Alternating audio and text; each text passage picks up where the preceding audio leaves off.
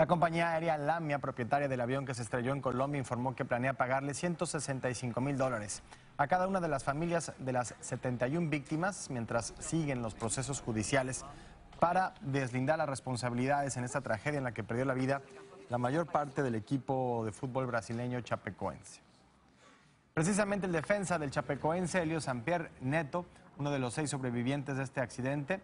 dejó hoy el hospital cercano a Medellín, en el que estaba internado, regresó a su país, a Brasil, en buenas condiciones, con una enorme gratitud, dijo, por Colombia. Francisco Souto, el jefe de la misión médica, supervisó el abordaje de Neto y señaló que está consciente, orientado y con un poco de miedo, por supuesto, como es natural.